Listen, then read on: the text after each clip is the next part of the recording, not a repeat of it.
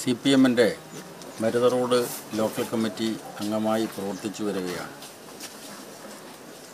സഖാവ് ഷാജഹാനെ R S എസിന്റെ കൃത്യമായ ആസൂത്രണത്തിന്റെ ഭാഗമായി നിഷ്ഠൂരമായി കൊലപ്പെടുത്തിയത്. ഷാജഹാന്റെ കുടുംബത്തെ സന്ദർശിക്കാനാണ് കണ്ണൂരിൽ നിന്ന് ഞാനിവിടെ വന്നത്. പാർട്ടിയുടെ ജില്ലാ സെക്രട്ടറി സഖാവ് സുരേഷ് ബാബു കൂടെയുണ്ട്.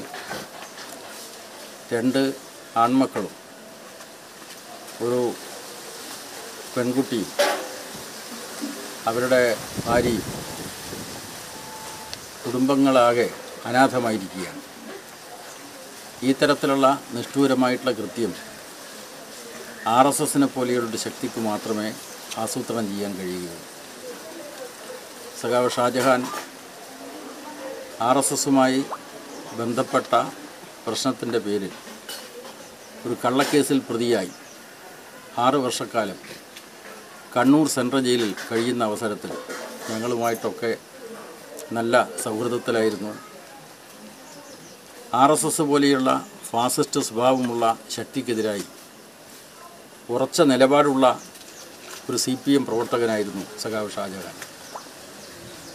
അത് കൃത്യമായി കണക്കിലെടുത്തുകൊണ്ടാണ് ആർ എസ് എസ് നേതൃത്വം ഈ കൊലപാതകം ആവിഷ്കരിച്ചത്. എല്ലാ കൊലപാതകങ്ങളും ആസൂത്രിതമായി നടപ്പിലാക്കുന്ന ആർ എസ് എസ് ജനമധ്യത്തിൽ തെറ്റിദ്ധരിപ്പിക്കാൻ വേണ്ടിയുള്ള പല നുണപ്രചരണങ്ങളും നടത്തും. ആർ എസ് എസിന് നല്ല മെയ്വഴക്കമാണ് നുണപ്രചരണത്തിൽ. കലാപങ്ങളും കൊലകളും ആസൂത്രണം ചെയ്യുക. അതിന്റെ ഉത്തരവാദിത്വത്തിൽ നിന്ന് മാറി നിന്ന നിൽക്കുന്ന നിലയിൽ പ്രചരണം നടത്തുക നുണപ്രചരണം നടത്തുക. ആ കാര്യമാണ് ഇവിടെയും ഉണ്ടായിട്ടുള്ളത്. ആർ എസ് എസിനെതിരായിട്ട് കൃത്യമായ നിലപാടുള്ള സി പി എം പ്രവർത്തകനായിട്ടുള്ള സഖാവ് ഷാജഹാനെ ഇല്ലാതാക്കാനുള്ള നേതൃതലത്തിലുള്ള തീരുമാനമാണ് ആർ എസ് എസ് ഇവിടെ നടപ്പാക്കിയത്. അപ്പം അതുകൊണ്ട് പോലീസ് വളരെ ഫലപ്രദമായി അന്വേഷിച്ച് ഇതിനകം കൃത്യം നടത്തിയിട്ടുള്ള ആർ എസ് എസ്സുകാരായിട്ടുള്ള ക്രിമിനലുകളെ അറസ്റ്റ് ചെയ്തിട്ടുണ്ട്.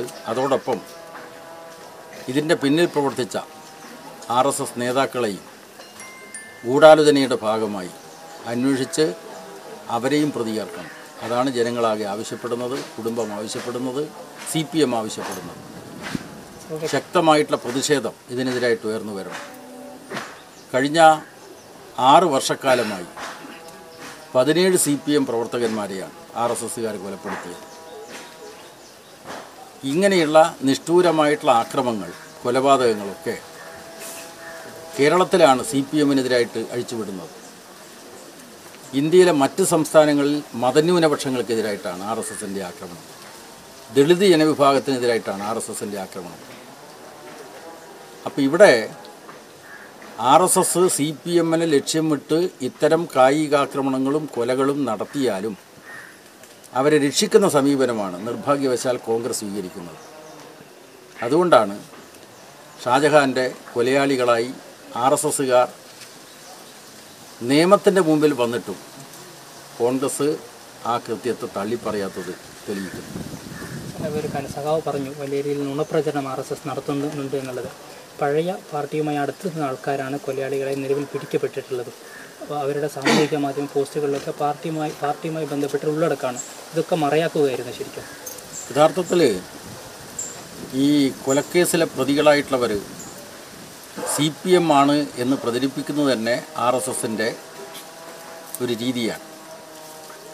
പല നിഷ്ഠൂരമായിട്ടുള്ള കൊലപാതകങ്ങളും നടന്നാൽ അത് സി പി എമ്മിനകത്തെ ഭിന്നതയുടെ ഫലമാണ് എന്ന് പ്രചരിപ്പിക്കുന്നത് ആർ എസ് എസിന്റെ ശൈലിയാണ്.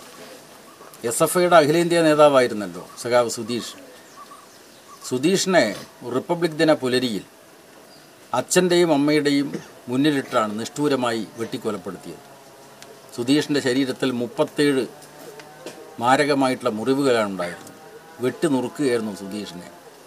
പിറ്റേ ദിവസം പലയിടത്തും ആർ എസ് എസിന്റെ പോസ്റ്റർ വന്നു. അത് ഗൗരിയമ്മ പ്രശ്നം കൊണ്ടാണ് സുധീഷിനെ കൊലപ്പെടുത്തിയത് എന്നതാണ്. അപ്പോൾ ഇവിടെയും ഷാജഹാന്റെ കൊലപാതകത്തെ സംബന്ധിച്ച് ആർ എസ് എസ് നടത്തുന്ന നുണപ്രചരണം അതിന്റെയൊക്കെ ഭാഗമാണ്. അതൊന്നും തെറ്റിദ്ധരിപ്പിക്കാൻ ഉതകുന്നതല്ല. ജനങ്ങളിൽ ആശയക്കുഴപ്പം ഉണ്ടാക്കാനുള്ള ആർ എസ് എസിന്റെ പരിപാടിയുടെ ഭാഗമായിട്ടാണ് അതിനെ കണക്കാക്കുന്നത്.